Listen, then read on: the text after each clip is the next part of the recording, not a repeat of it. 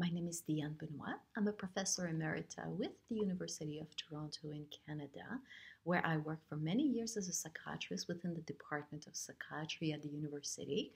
And I've also worked as a staff child psychiatrist at the Hospital for Sick Children and a researcher within the Research Institute, also at the Hospital for Sick Children in Toronto.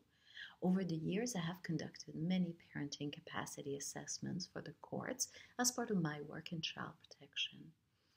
The topic of the webinar is the impact of violence, abuse, and neglect on the brain and behavior of children, focusing on the links among attachment, maltreatment, and trauma.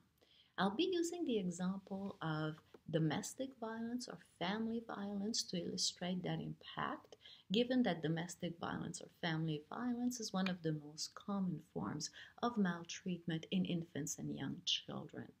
I hope you find the topic and clinical vignettes I'll be using instructive and helpful and interesting, and I look forward to speaking with you about that topic.